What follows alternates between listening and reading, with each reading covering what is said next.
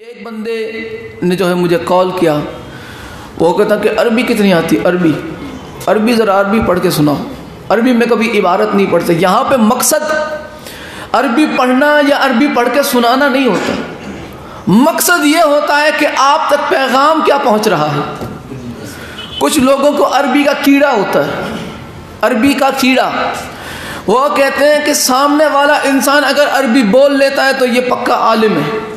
ये पक्का इल्म वाला है, ये सच्चा अमल वाला है। ओ हो हो अरबी कितनी ख़तरनाक बोलता है।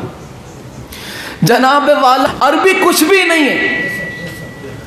यहाँ पे मैं आ रहे इल्म अरबी नहीं, कि फलाने हज़रत को अरबी आती है तो ओ हो इससे बड़ा तो आलिम ही कोई नहीं से तो अरबी आती है। जनाब वाला, मैार इल्म का अरबी नहीं। इल्म का मैार मारिफत आले मोहम्मद है। आले मोहम्मद की मारिफत इल्म का असली मैार है। मिसाल के तौर पे चले। मैं मिसाल दे देता हूँ, बात आसान हो जाए। आप अरब की सरजमीन पे चले जाएँ, अरब की सरजमीन पे। वहाँ पे बोली ही अरबी जाती है, ठीक है? अब यहाँ का इंसान वहाँ जैसी अरबी मर कर भी नहीं बोल सकता। वो नहीं बोल सकता, चाहे जितनी कोशिश कर ले, मखरज चाहे यहाँ से निकाले हलक से निकाले आँखों से मखरज निकाल ले, ऐसी अरबी बोल ही नहीं सकता, क्योंकि उनकी ज़बान ही अरबी है।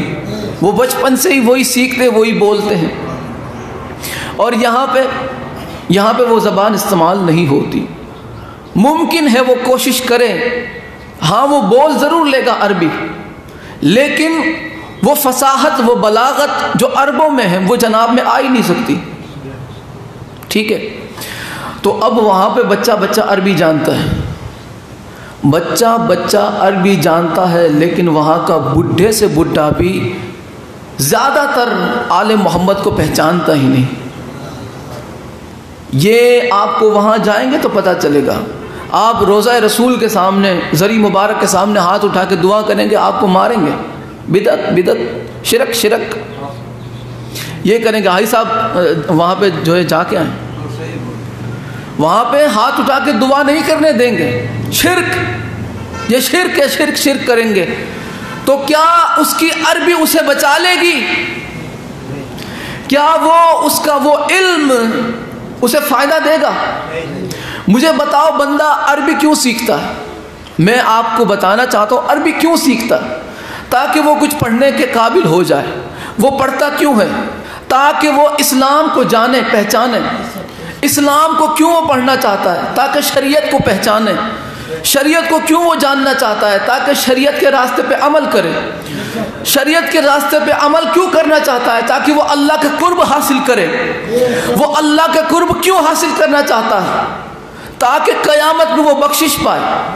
क़यामत में वो बख्शिश क्यों चाहता है? ताकि जन्नत में आले मोहम्मद के करीब उसका मकान हो जाए। जनाब वाला आखिर में बात आ गई आले मोहम्मद पर।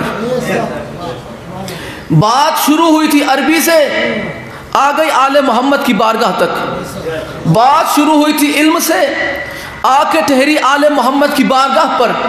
तो पता चला बख्शिश का ज़रिया अरबी का कीड़ा नहीं, आले मोहम्मद की गुलामी का नाम है। आले मोहम्मद की मारिफत का नाम है बख्शिश। अरबी के कीड़े से बख्शिश नहीं मिलनी। जिन्हें भी अरबी का कीड़ा हो, वो निकाल दे। क्योंकि अरबों को उनकी अरबी की वजह से जन्नत नहीं मिलनी।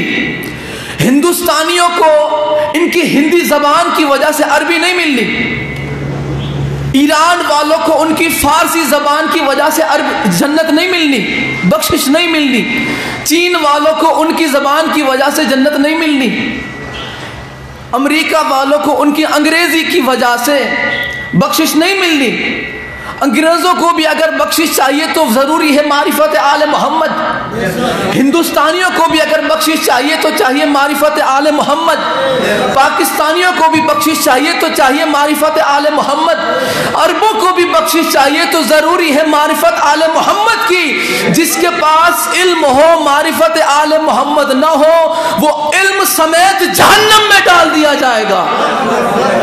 ये फैसला अल्लाह का है, ये फैसला रसूलुल्लाह का है। तो अरबी का कीड़ा जिसे भी हो, वो निकाल दो। लिहाजा बख्शिश का ज़रिया अरबी का कीड़ा नहीं।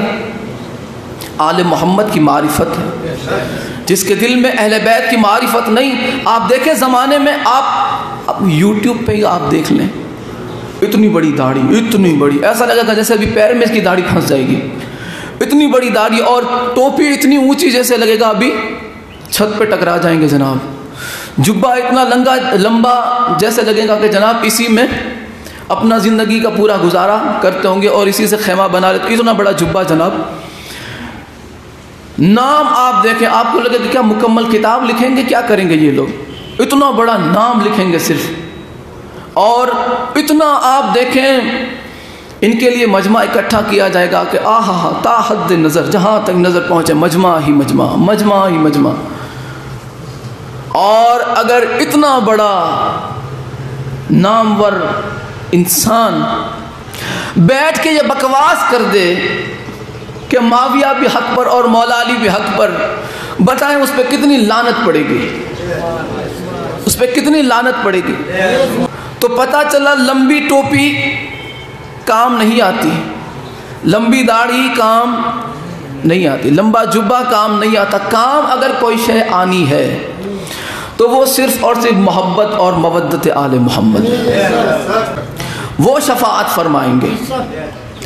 तो जनाब वाला मैं दोबारा कहना चाहूँगा कि बख्शिश अरबी के कीड़े से नहीं होगी।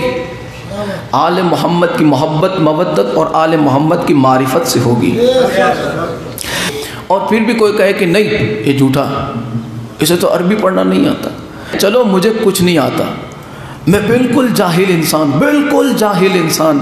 लेकिन कम से कम इंसान को इतना तो समझ जाना चाहिए ना कि जब इस मज़हब के जाहिल इतनी आल मोहम्मद से मोहब्बत रखते हैं, इस मज़हब के उलमा कितना खुल के बयान करते होंगे? जहाँ पे मौलवियों के पास इस मज़हब के सबसे छोटे जाकिर के बातों का जवाब नहीं होता, वहाँ पे उनके पास का जवाब कहाँ से होगा? कहाँ से इनके पास जवाब होगा? लिहाजा जब इनके पास कुछ नहीं रहता तो कहते हैं कि इन्हें कुछ आता ही नहीं। हमने कब दावा किया कि हम कुछ जानते? हमने कब दावा किया इल्म का?